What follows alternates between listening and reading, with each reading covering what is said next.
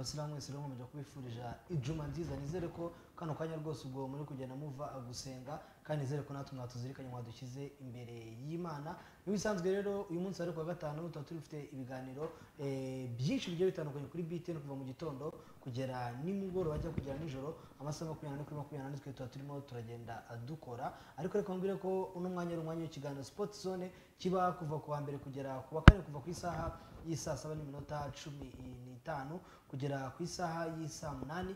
Mu gihe rero eh, ku gatanu kiba kuva ku isaha y'isaa saba kugera ku isaha y'isaa munani. Ku gatandatu akaba ari kuva ku isaha y'isaa tatu kugera ku isaha y'isaa tanu. Rwose ku munsi w'ejo muzaba mudukurikira gatanu kuri gatanu ugenda nkugezaho amakuru eh, aba yaranze weekend ndetse n'abari buze kuranga weekend. Uyu munsi rero dufite byinshi byo kuzoganira ariko ntabwo turi buze kuganira ku bya siporo gusa. Kuko turaza no kuba dufite umutumirwa uri buze kugenda tuganiriza byinshi bigiye bitandukanye dore ko nawe siporo ari ibintu bye cyangwa se ari ibintu amaze kumaramo igihe. Nk'ibisanzwe mu kiganiro sport zone rwose tuba turi kumwe n'abafatanyabikorwa benshi bagiye batandukanye. Tuba turi kumwe na ji yasana mu gakombe igura amafaranga magana atatu. Ni ji rero ahantu hose waza kujya ukaza kuba uyasanga haba mu masuperimarishe haba mu maduka agiye atandukanye haba mu makantine ndetse n'amahoteli ku mafaranga magana atanu waza kuba rero uyasanga rwose ku mafaranga magana atatu nabivuze magana atanu ni magana atatu. Ikindi kandi rero ni ubwoko bune bwose hari ikozwe mu icunga hari ikozwe muri pome hari ikozwe eh, mu mwembe ndetse zose uko eshatu ukaza kuziteranya ukongeramo inkeri bukaza kuba ubwoko bwa kane hose rero uza kuba uziyasanga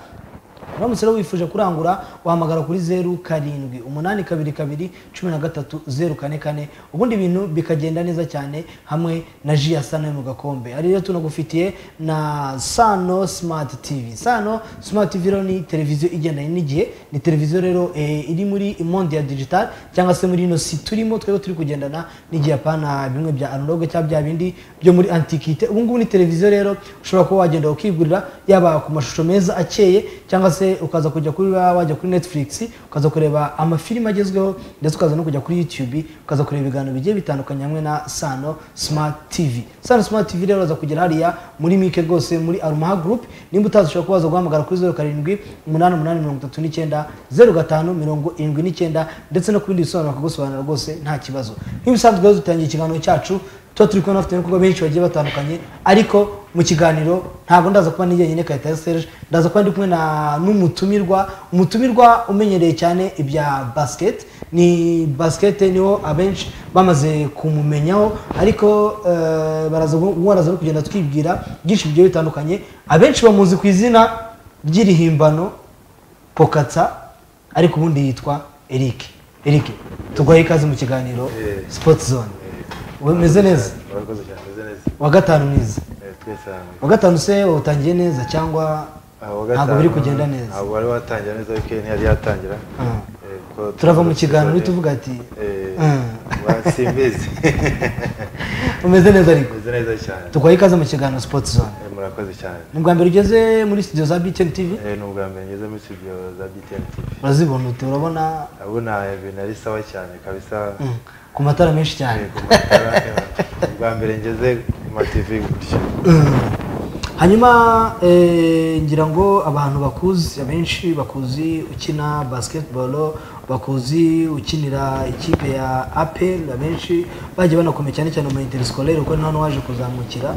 Dore ko wenda abenshi nyine mu interscolaire ari na yo impano yaje kuzamukira. Ariko umuntu utazi pokatsa cyangwa se umuntu utazi Eric muri rusange ubundi Eric ni muntu ki? Eric yatangiye basket ate? Ubundi ubuzima bwa Eric kugira ngo yinjire muri basket ze yize hehe? Kugeza ubu ngubu magingo aya ngaya Eric ni muntu ki?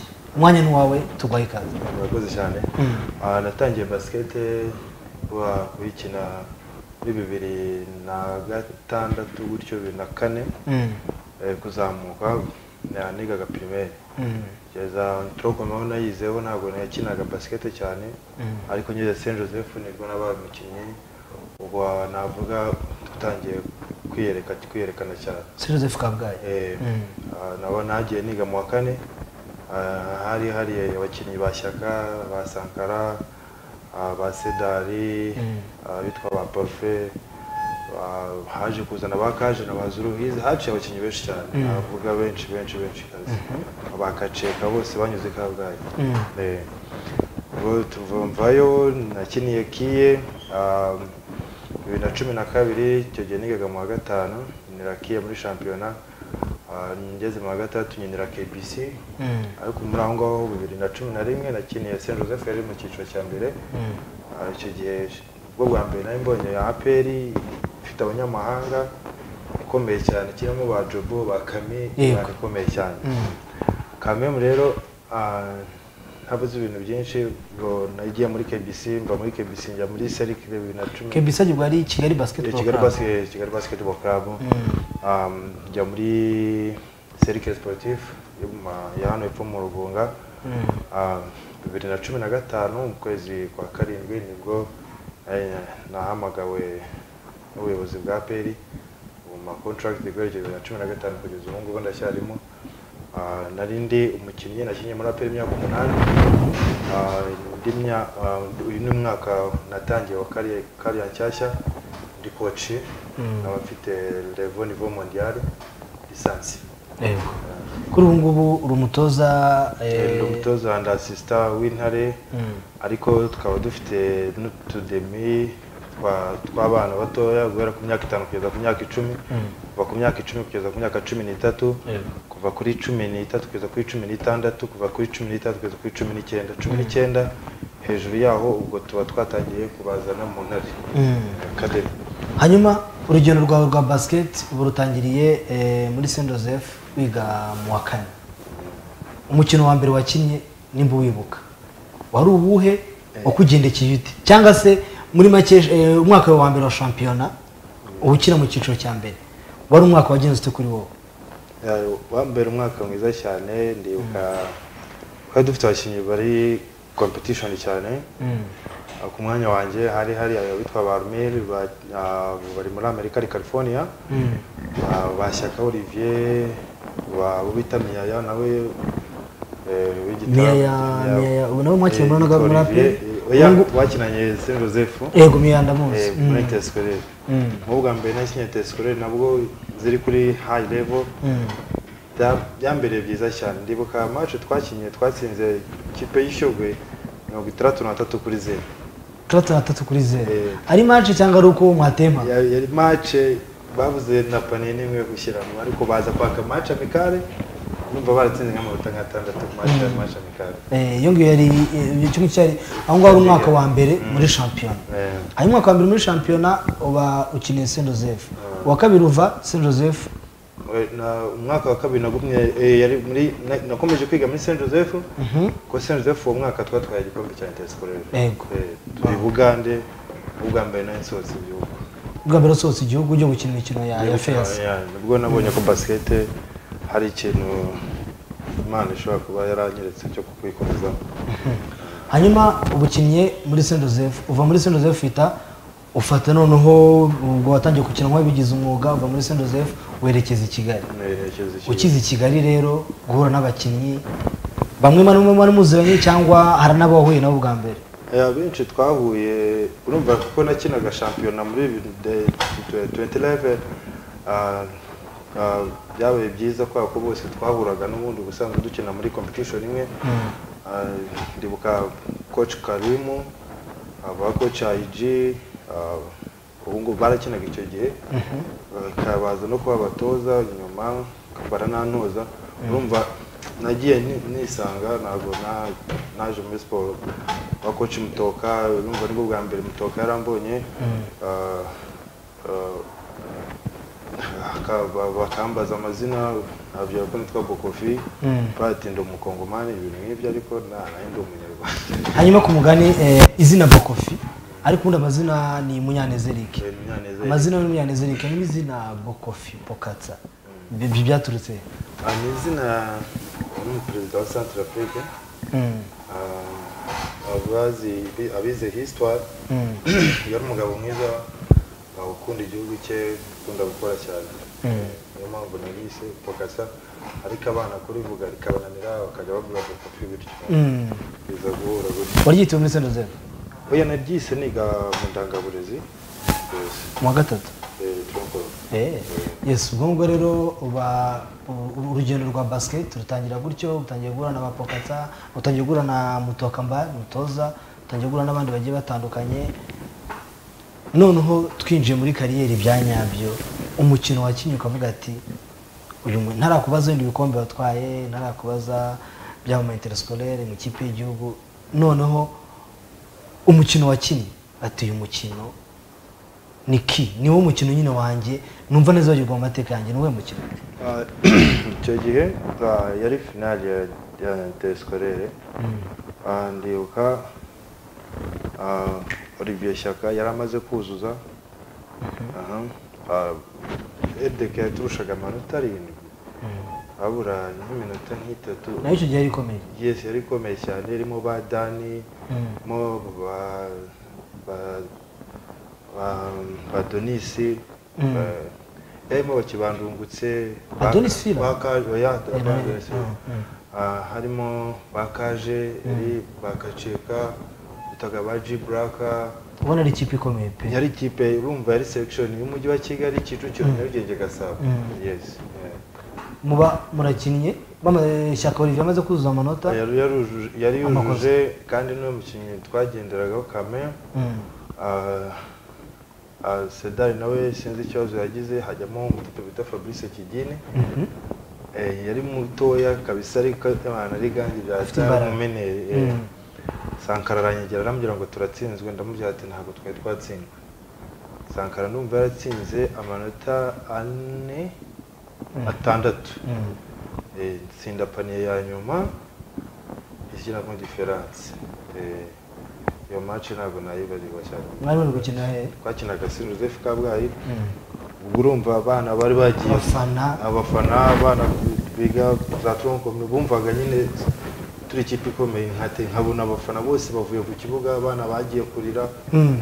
bavuga ati ikipe yatsinzwe directeur Gahima Gaspard ndamushimira cyane Mm. umubyeyi buriya mbere yuko na navuga introduction abanza niboneye kubanza kuvuga Mm. ndamushimira cyane yagiye afasha abana benshi cyane uko twese mutubona hano muri shampiyona ndizera ko umuntu utaracekwaga imana ari na- Ni ni bake. bakeya Mm. matside bose baciyeyo bandi yewe n'abari hanze Yes, bakadufura na- n'abandi yes Mm. aba- mm. yes ubwo ngubwo uwo ni umukino wagushimishije hanyuma eh, uwakubabaje Ah, match yambabaje ni match twakinnye na na rege final idutsinda diferanse ya 25 Mm. twari twakuyemo patriot ah, yari imikino ya gisenyi niyo match ya mbere ariko indi match gisimbe memorial tournament. Eh. yego. indi match iyi match ebyiri indi match numvaga twagombaga kuba twageze final.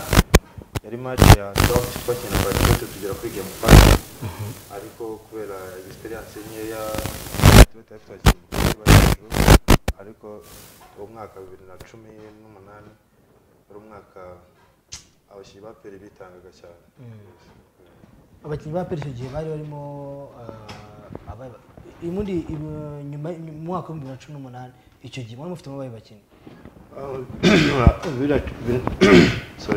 bibiri na- cumi n'umunani twari dufitemo parufe ah, dufitemo ah, uwo bitaga yannick senegale ubu abakanada Mm. Ah, dufitemo gaceka ah, Uri muri. Rege? Eh, dufitemo brian eh, dufitemo yannick eh, ah, ah, bari muri tigers yaya. Eh, ya yego na fisto. oya icyo gihe Fis- Fiston yari yaraje Mm. Fiston yari atari yaje Fiston yaje umwaka wakurikiyeho Mm. yaje bibiri na cumi n'icyenda bibiri na makumyabiri. Eh, abo ngabo ni abakinnyi abo bakinnyi nibo navuga bari bahari oh, ba Fabrice Fabrice Ruterana we ntagikina ah, yabivuyemo. Eh, ndumva eh, na ba Bienveni ubu ba Bienveni ari muri Patriot Eh, pokata eh, ubwo ndaza gukomeza njye kuvuga pokata kuko ndi abantu benshi Eh, bamaze kukumenyaho. Eh, nk'ubwo ni coach pokata kuko ibyo kuba umukinnyi byamaze kuva buri umukoci Eh, coach B ntabwo ari coach Pocket ubu ni coach b? Eh coach Bokofi. Eh, coach bokofi hanyuma eh, ubwo ngubwo mu ikipe ya bibiri na cumi n'umunani urugendo rurakomeza ibikombe. Watwaye muri kariyeri ya football. Gusa ndaza muri kariyeri y'ubutoza nubwo tutemazemo igihe kinini. Ndaza no kubaza nyine uko waje mu butoza. Ibikombe watwaye ngo tureke iby'ama interscolaire kuko byo ndumva buri mwaka mwarabitwaraga. Aho mwacaga buri mwaka numva mwarabitwaraga. Hanyuma muri shampiyona ibikombe watwaye wowe muri kariyeri ya muri kariyeri ya basketball basket, ah. ni bingahe Ah, ok Ah, urumva shampiyona kuva najya muri aperi bibiri aperi mu myaka cumi n'ine. Ni ine ibayeho? Eh, oya Mm. Ah, cumi n'ibiri cumi n'itatu gutyo Mm. idatwara igikombe.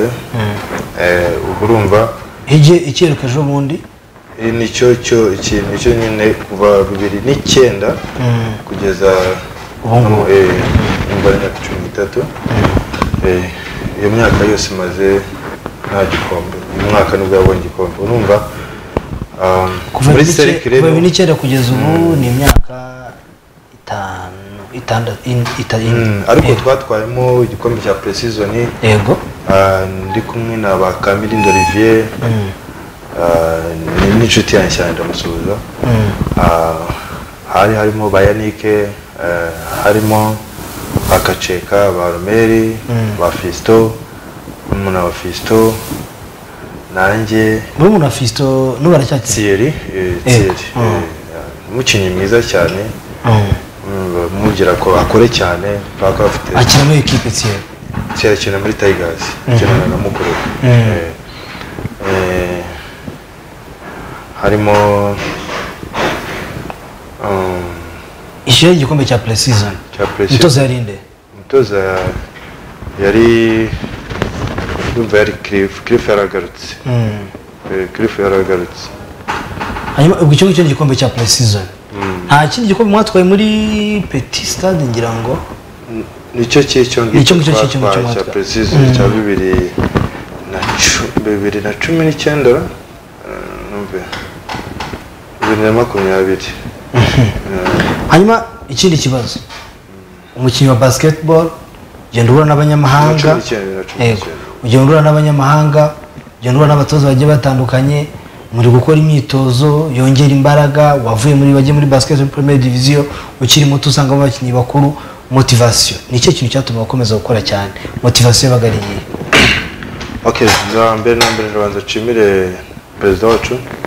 Ah, w'icyubahiro Bref Ah, ni umuntu wabaye hafi ya ekipe ni we watumotivaga n'umuntu bita coach Cliff Ah, urumva perezida ah, abanyamahanga bakivaho byabaye ngombwa ko aperi abanyamahanga bagenda kubera ikibazo cyari cyavutse baragenda turagumamo turahatana ariko perezida akajya atubwira ati muhumure ibyiza biri imbere mwige bishyiremo imbaraga.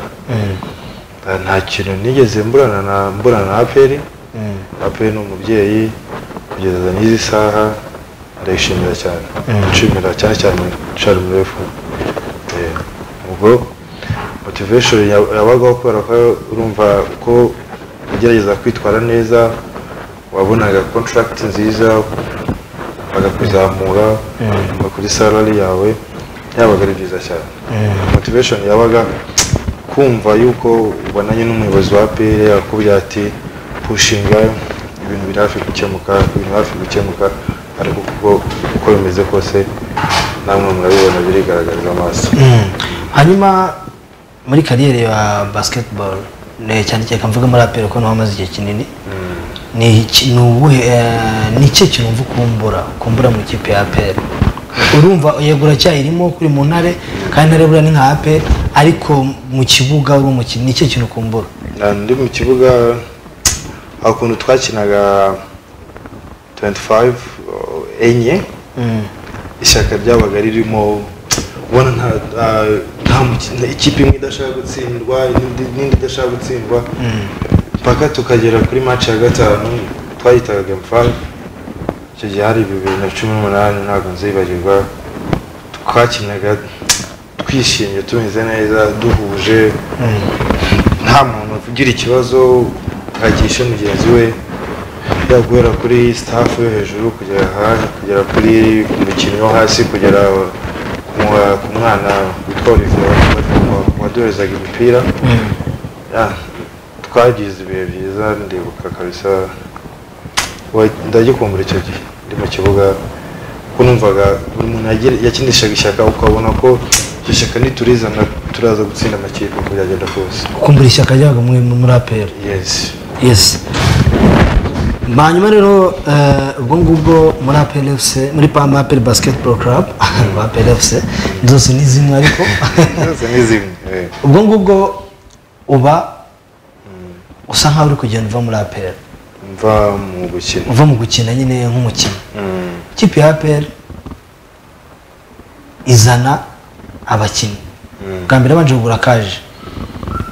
Ni ejo bundi. Twabanje kugura kaje na curuzwa kaje na nshobozwa. Eh. n'abandi bagenda abandi twarabaporopoje ariko ndabiranga Eh, hanyuma mu- eh, mu- mu- nk'abakinnyi muri rusange mwumvaga hari kuza abandi. Namwe murahari. Mukibaza ko ari kongeramo abandi kandi natwe duhari iyo waganaga na bagenzi bawe wumvaga ari iki kiri ku mutima wawe cyangwa se bari gutekereza iki? Muri aho ngaho hagati maho urumva byageze aho urumva uko uko imyaka yagendaga yiyongera. Niko perezida wacu yapushinga kugira ngo dutware igikombe kuko ni umuntu ukunda basiketi cyane urumva kuba ubu ngubu yarashyizeho utudemi haba gasaba ifite akademi kicukiro ntabwo kari kazi ariko kari hafi. Ah, ah, Nya- nyarugenge karahari. Eh, urumva n'intare urumva.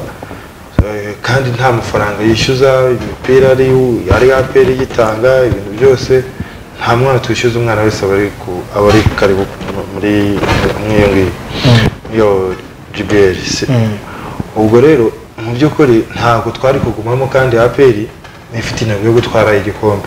Urumva twebwe twari tunaniwe kugira ngo tuyiheshe cya gikombe. Kuko ndabyibuka mwavirimo muri kimwe cya kabiri mutsinzwe na patriot. Ye patriot na yo yadutsinze. Patriot reg ni reg. Ni rege rege natsinze kuko rege numva yarabaye iya mbere.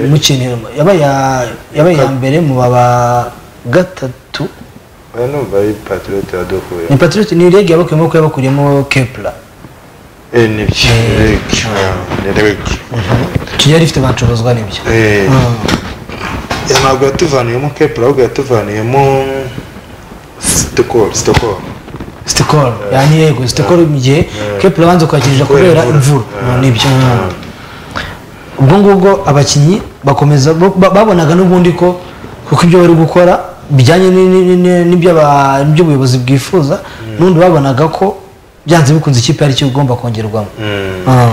ubwo nyine perezida yewe anyegera arambwira ati "Ah, imbaraga zawe warazikoresheje kandi ntabwo dushaka gutakaza. Cyiza no ko wajya muri development ukazamura abana ukabereka ibyo uzi ukabafasha nabo bakazamuka. Ntabwo ushaka kuva ntabwo wava muri ekipe. Umwana wa ekipe ntacyo utayikoreye uzagumamo icyo ugomba gukora ni ukwihugura ugashaka ayo marisansi yo gutoza. Ah, ndamushimira ya mbere maze kuyibona. Lisansi nivo revo nivo mondiyali ubwo ngubwo eh, muri kariyeri y'ubutoza abandi ubwo bagiye ba- babasezerera babasezerera babasezerera. Mhm. Ah, hasigaramo abakinnyi bakeya. Batiza muri tayigazi abakinnyi batanu bari abakinnyi bari muri tegazi baninizanye bariya abo ba- yaya Thierry na fisto oya hari harimo bari batatu batatu yeah, ni Thierry wita KGP Mimeneri hakaza na Mudeni mu mudenge abo ngabo nibo batije muri abandi Abandi barabasezerera ariko basezera neza twaricaye turaganira. Meze nyine akakubwira turashaka gutwara igikombe n'umwaka. Kandi imbaraga zose tugomba kuzikora tugomba kuzishyiramo uko byashoboka byose tugashaka abakinnyi bari kuri karibure iri hejuru yanyu. Yes. Mbere yuko twerekeza rero muri kariyeri y'ubutoza kwa pokatsa cyangwa se kwa b coach dufite byinshi tubuze kuba tugana nawe muri kariyeri y'ubutoza nubwo atamaze atamaze kugiramo eh, igihe kinini cyangwa atamazemo igihe kinini ariko afite byinshi n'ubundi nawe afite n'ama experience ari kugenda akura mu gihe amaze muri kariyeri y'ubu coach. Turaza kujya tubiganiraho ariko mbere yuko tubiganira ko tugenda dukurikire ubutumwa bwa intracofis dukurikire ubutumwa bwa ingufu limited dukurikire ubutumwa bwa matera rwanda 4 hamwe eh, na max fitness gym ubundi tugaruke mu kanya bakuzaniye ikirungo cyitwa intaragofitsi kivuye ku mugabane w'uburayi ni ikirungo umworozi avanga n'ibiryo by'inkoko izitera zikaguha amagi y'umuhondo nk'amwe y'amanyarwanda kandi zigatera ku kigero cyo hejuru. Mu gihe inkoko z'inyama iki kirungo kizifasha gukura vuba ku buryo mu byumweru bitandatu gusa umworozi aba atangiye kubara amafaranga. Intaragofitsi iki kirungo murakibona mwifashishije nimero za telefone ziri kuri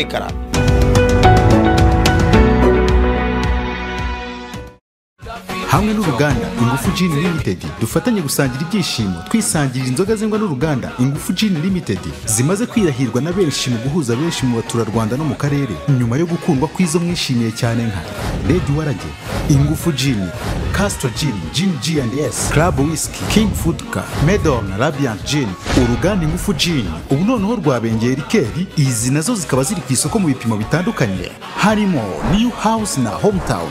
Nutegura ibirori bitandukanye? Ntuzabure iminsi inzoga. Dore ko ziboneka mu gihugu hose.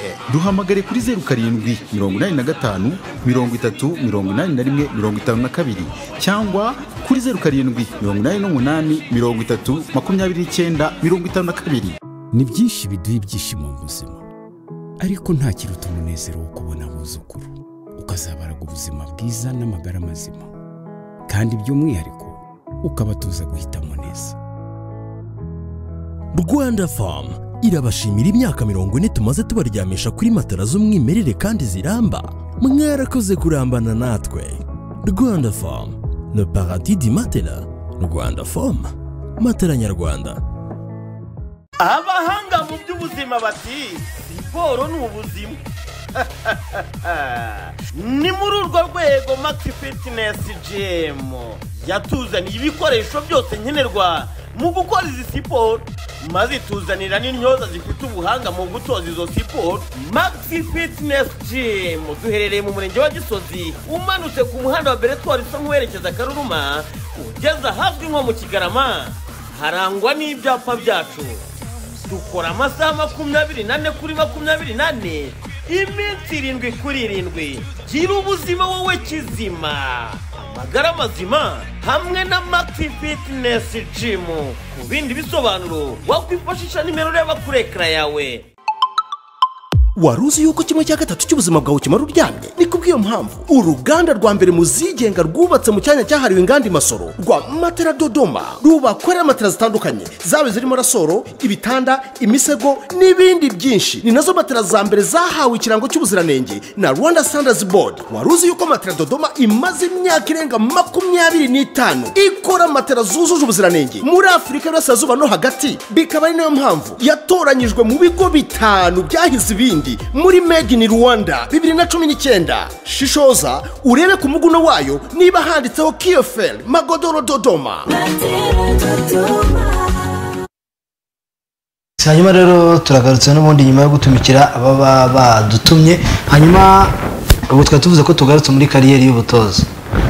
Uba uje muri kariyeri y'ubutoza kugira ngo uyu ni umwaka wa kabiri umazemo kariyeri y'ubutoza umwaka wa mbere uyu ni umwaka wa mbere umwaka washize ariko waratoje umwaka ibintu washize narakinaga umwaka washize narwo nasezeye ni bwo wasezeye Eh, mu kwezi Yego. kwa cumi na kumwe hanyuma rero ubu ugiye muri kariyeri y'ubutoza kariyeri y'ubutoza ufashe intare kwanza mu ntare wabanza umbwire kwanza kugira ngo ufate umwanzuro wo kuvuga ngo ngewe reka basketball nyireke ariko ndeke kuyireka burundu njye mu butozo. Uwo mwanzuro wawufashe utese ninde ari uwakugira inama cyangwa n'uwavuze ati ibi bintu reka ngewe ndeke kubivamo gutya mbigumemo kandi harimo abo mungana bakiri gukina.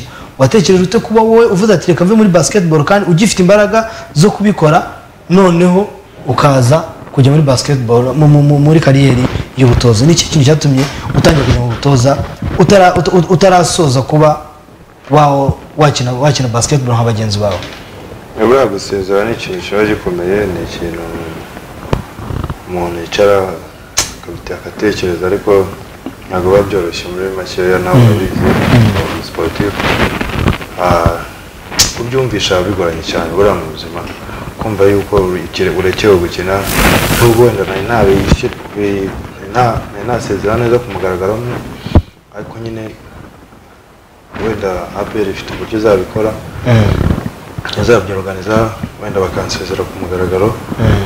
Ah, sinzi wenda igihe ariko buriya wenda bazabitegura ko nakoze neza nkiri umukinnyi nkaba ndi muri staff.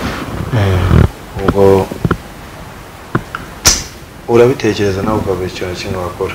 Ukumva uri desuve cyane. Eh, ariko nyine urihangana ukarwana na byo kugira ngo wumve yuko utagikina ari ibintu biba bikomeye cyane. Intego zawe mu butoza intego zawe mu butoza ni izihe? Ni ukugera hehe? Se urifuza kuba wakora iki muri kariyeri yawe y'ubutoza muri karere y'ubutoza ah, numva ngomba kuba umutoza ukomeye uri hejuru cyane. Ko iyo wakinnye birakorera no gukoca coaching yawe biri hejuru ko uba uzi ko umukinnyi ugomba kumutwara uzi ukuntu umukinnyi ugomba kumutoza kandi ikindi cya kabiri ugasoma cyane ah, ibitabo tuba dufite tuba dusoma bya coaching biragenda bidu- bigenda bidufasha cyane. Eh, ubu intego ufite niyo yo kuba umutoza inter- uri international ufite level cyangwa nkaba inspect- nkaba inspector. Eh, abandi batoza yes hanyuma rero mu ntare mu ntare mufitemo izihe gahunda ubu kano kanya muri mu zihe gahunda? Muri gutegura ibiki ndabona muhuze cyane hari byinshi turi kujya tubona ku masosho media mu ntare mu ntare ubundi muri gutegura iki? Nyuma y'uko mugeze kimwe mwagize kimwe cya kabiri. nyuma y'uko mugeze kimwe cya kabiri muri eh, muri rwanda basketball d2 rwanda basketball league d2 ubu noneho gahunda ihari ni iyihe? Ni ukuvuga ngo ah, twagombaga gutangira twagomba gutangira ku itariki icumi.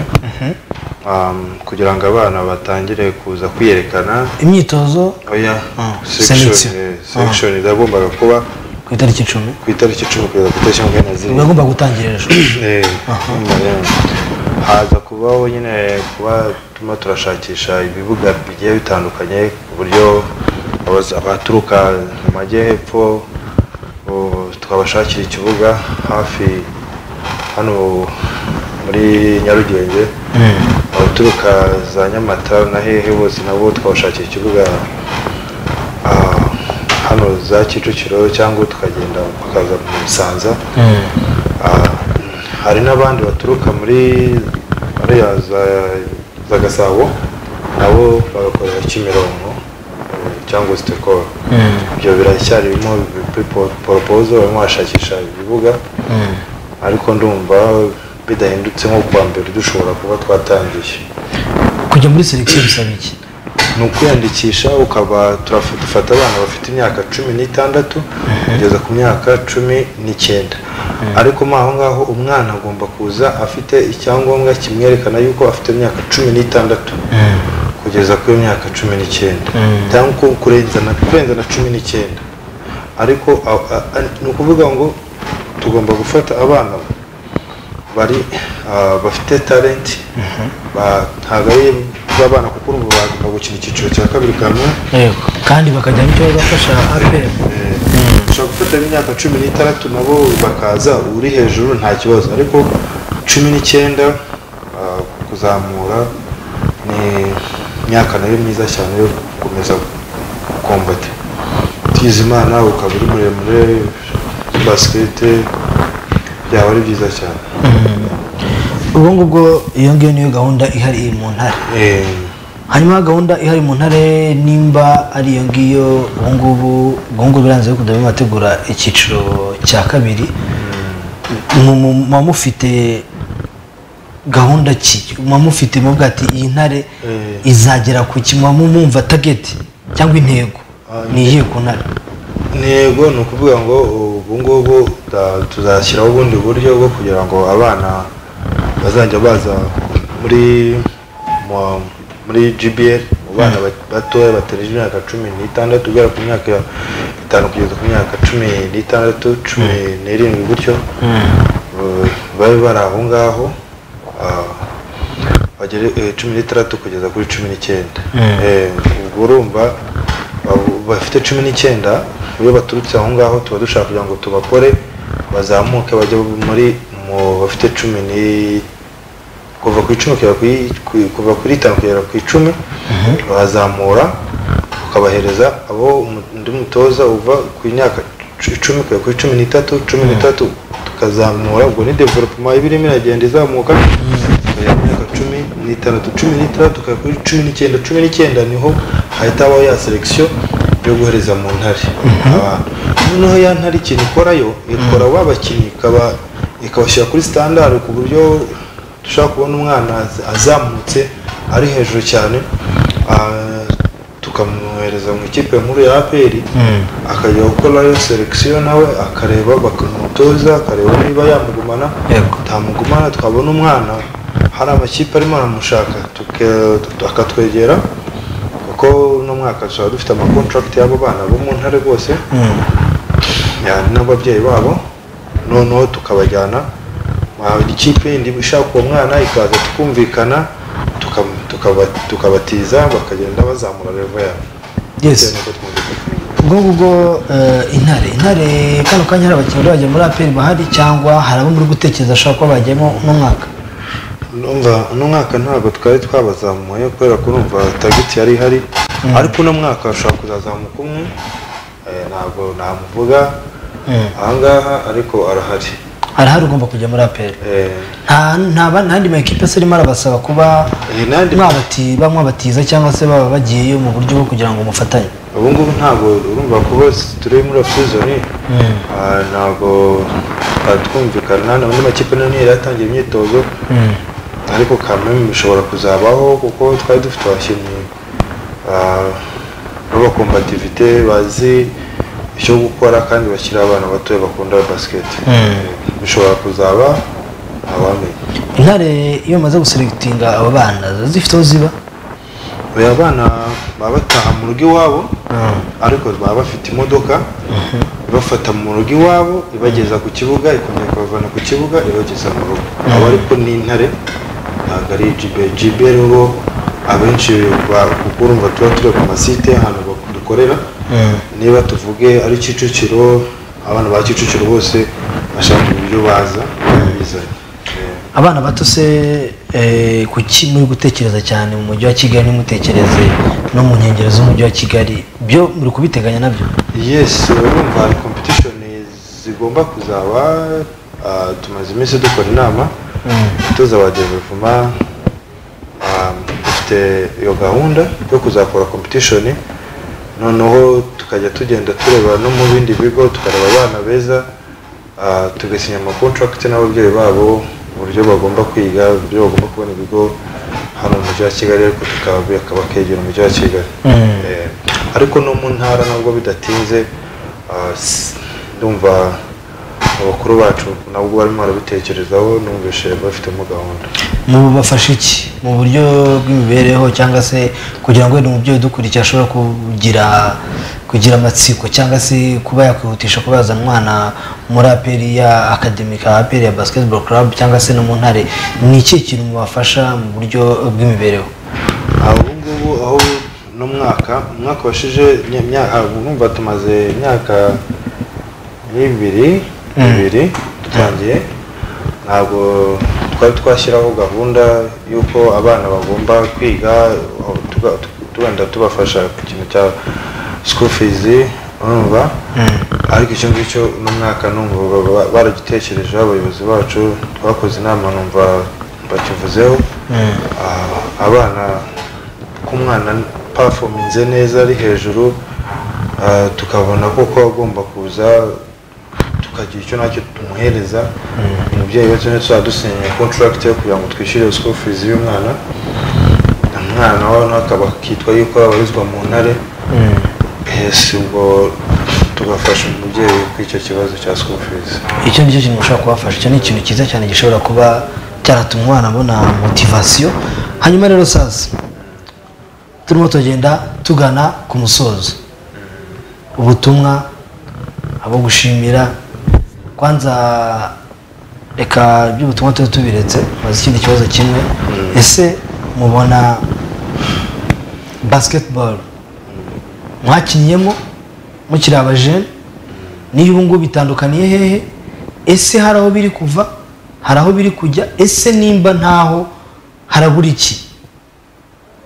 Ese nimba hahari bongeremo iki? Uh, basiketi yo mu rwanda ndashimira federasiyo imaze kuyishyira kuri sitandari iri hejuru. Uh, nkashimira na ba perezida b'amakipe za patriote za rege za espoir nubwo wenda zasubiye inyuma ariko na zo hari ibyo zakoze kugira ngo ayo makipe za patriots na zo zize ziyubake. Patriot hari ibyo yakoze kugira ngo rege na yo ize yubake. Izo kipe zose zo zakoze apr ibona yuko igihe kigeze cyo kugaruka igatwara ibikombe na yo ubwo urumva ko byari ibintu byiza cyane. Competition uh, iyi ligue imaze kuba ku- rwego ruri hejuru cyane ku buryo uzana umukinnyi aturutse hanze nawe akibura agasanga ari umunyarwanda uri hejuru ye. Urugero rwiza n'icuruzwa Eh, yes ncubuzwa abo ba gasito ba gasito yego. Ba- olivier turatsinze. Uriya mwana ukiri muto. Umwana urimo urazamuka. Yes um, barahari barahari abakinnyi ba- bakora challenge. Nabo bo hanze bakaza ugasanga ibintu baje spectacle muri arena.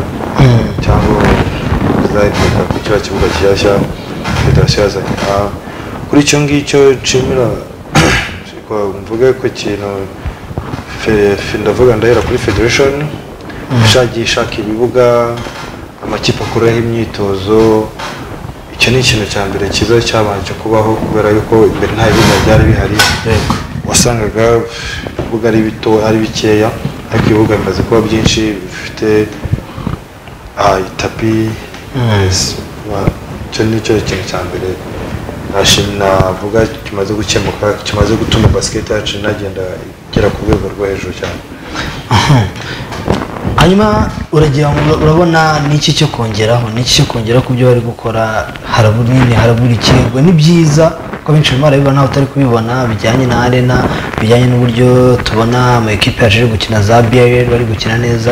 Nyine harabura ikiyunguruka ni iki kintu bakongeraho? Eh, urabona kuko urumva turimo turashaka urumva abakinnyi benshi cyane turimo turazana abakinnyi b'abanyamahanga cyane. Fede- federation yakongera ikicara ikayongera igakora igikorwa mbere bakoraga bakazenguruka igihugu cyose boherezayo abatoza bareba abana bafite impano bakongera baga- bagashaka ibigo bak- bak- bakorana nabo amakontragiti bumva kamemu wenda APR ishobora kubikora ibyo bintu ariko mu ntara hari abana bazitiwe batabona uko bashobora gukina basiketi bakongera bagakora basiketi ya interiskolere ikajya kuri standard hejuru cyane. Niyo bakora ikintu nakwita nka division 3 Three, ah, ku buryo eh, cyakinwa n'ama interiskolere urumva akajya akina cyane. Ba- abana bafite amatara abana barebare bakabafata bakabashyira kuri ibyo bigo. Tuvuga bakavuga ati gitarama cyangwa i butare cyangwa urwamagana cyangwa ubugesera um, cyangwa i kayonza cyangwa gisenyi. Ni ahantu hagiye hava amatara menshi bakashaka abakoci babahashyira ah, bagomba gufasha ibyo bigo byose biri aho ngaho uko bagenda bajonjora abana babashyira mu makampu. Izo kampu ndumva zarabaye ariko ntabwo zigikomeye nk'uko mbere zabaga zikomeye. Ubwo ngubwo icyo ni cyo kintu bakwiye kongeramo. Eh, dusoza. Tubanwa ah, sorry kugira ngo basiketi yacu ikomeze igere ku rwego rwiza ni uko dushaka abanshobozwa wenda nka magana abiri. Tukaba dushaka nka bagasito nka maga- nka magana abiri. Tukaba dushaka abakinnyi b'abanyarwanda bari kuri ya sitandari yo hejuru. Apana kuvuga ngo arakomeza akine hano mu rwanda. Agende ajye muri esipanye avuga undi haze undi. Agende ajye muri erope undi ajye hehe se? Basiketi nitumara kugira abakinnyi bari porofeshono benshi. Ikipe y'igihugu bizayifasha cyane. N'abandi baziza. Yes. Ikipe y'igihugu iza- icyo kintu kizayifasha hanyuma eh, turimo turasoza rero ubutumwa wagenera abakunzi ba basketball muri rusange ndetse n'inama n'ibyifuzo. Ariko mbere y'uko ibyo byose biba urabanza unashimire abantu muri rusange batumye ugera ku izi- ku kuba kuba uri umutoza. Um, mbere na mbere ndabanza nshimire frere directeur gahima gaspar ndamushimira cyane. Nk'umubyeyi wa- wareze siporo muri rusange si ibyo n'aba basket volley football handball. Numva u rwanda yararuhaye abakinnyi beza kandi benshi. Ikindi navuga nashimira nashimira coach john wamvanye ah, john baba ufite eh, ku- ku sa- centre oh, centre culturel gitarama yego njyana i kabgayi mpesha ikigo ndiga nda- ndarangiza ndamushimira cyane ndashimira saido directeur nyakwigendera Ah, ni umuntu nawe wafashije basket yo mu rwanda kuba igeze kuri standard nanjye narahize umwaka umwe. Ah, bibiri na cumi na kane. Ndashimira. Ah, abasaza abaperezida ba karisite Ah, ndashimira ari umushuti wanjye n'ubu ngubu. Ah, bita sagihobe aba muri amerika ndamushimira cyane nawe. Yakundaga siporo cyane n'ubu ari muri amerika. Ah, ndashimira.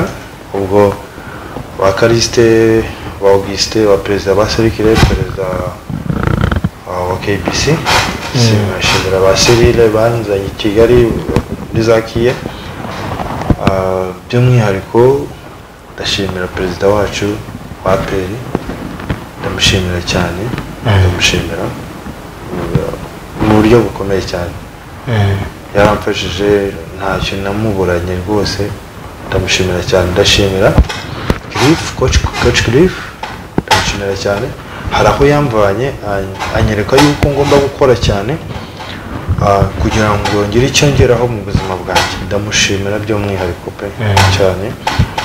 Ah, ndashimira ah, ah, Karim. Twabanye guhera bibiri na cumi na karindwi kugeza cumi ni- bibiri na makumyabiri. Ubu mbere yuko Cliff agaruka twabanye neza nawe. Ndamushimira cyane. Ah, nkashimira abakinnyi bo- muri aperi guhera bibiri na cumi na cumi na gatanu. Nubwo twagiye bose bagiye bagenda bagenda bagenda bashiramo. Ah, nsigara wenda ndi kumwe na yaya. Yaya nawe agena umwaka washize. Nawe twari twa twatangiranye yaje ari n'umwana yiga mu wa kane segonderi. Kandi icyo gihe nari maze tuyazi ndangije ndashimira cyane cyane abashuti bose abakunzi ba basikete aho bari hose abafana. Ndabashimira cyane kabisa. Ubutumwa? Ubutumwa natanga. Basikete aho igeze basikete igeze ku rwego rushimishije. Umuntu ashobora ushobora gutunga famiye yawe ukagukora bizinesi bikakora buri kimwe cyose. Wowe urimo urayikina. Wowe urimo urumva kino kiganiro cyo kuri uyu munsi wa gatanu. Njyewe nakubwira yuko nta byo kuryama. Byuka mu gitondo wowe ufite umwana wa mubyeyi wowe ufite umwana ukunda basiketi mubyutse mu gitondo. Akore pushapu akore abdomino isaha imwe abonye abona uko agera ku kibuga umugeze ku kibuga. Abashe gushuta abashe kugera gute? Ma basiketi ubu ngubu ihemba abantu tukazana abanyamerika tukazana bake. Abana abana bose bari mu rwanda njyewe nabagira inama yo gukora cyane. Abakinnyi nabo bari mu rwanda ubu ngubu ni ababyeyi nta byo kuryama. Amafaranga arimo bagomba gushyiramo imbaraga mu bintu byose. Barimo barakora kuko ino myaka ije basiketi igeze ku kindi kintu. Na perezida paul kagame egisensi arimo arafasha basiketi cyane. Yubatse arena. Hari n'indi zirimo zirubakwa hariya hariya hafi. Yego. Hari ibindi bibuga ibibuga birahari byinshi cyane. Muri convention harimo ibibuga abatoza murahari? Abatoza turahari. Mbere na mbere na perezida wacu w'igihugu ndamushimira cyane kabisa cyane. Kuko nta kintu atereka abakunzi ba basikete ka twitayeho. Nyamuneka wowe ukunda basikete uyikina muri porofeshono kugeza izi saha wiryama byuka mu gitondo ujye muri practice. Yes. Hanyuma rero twebwe ikiganiro cyacu sports zone ndabona rwose amasaha ageze. Reka rero n'ubundi tubabwire yuko n'ubundi sports zone nakagaruka ku munsi w'ejo ku isaha y'isaa tatu kugera ku isaha y'isaa tanu. Reka mbwire ko rero eh, n'ubundi nkomeze gushimira wese wafashe umwanya wawe ukaba natwe mu kiganiro sports zone. Pakata bikoci nawe wakoze cyane. Tekinite kunyakira ndashimira btn tv kuba yatwakiriye. Ya twari twagize muri studio zayo ari ubwa mbere. Mm. Ah, nakagaruka tuzahora tugaruka igihe cyose muzadushaka. Hanyuma rero na wari uri ku buhanga bw'ibyuma ndetse na pasi reka tubashimire mwakoze cyane. Imana ikomeze kubarinda naje kuwa gatandatu.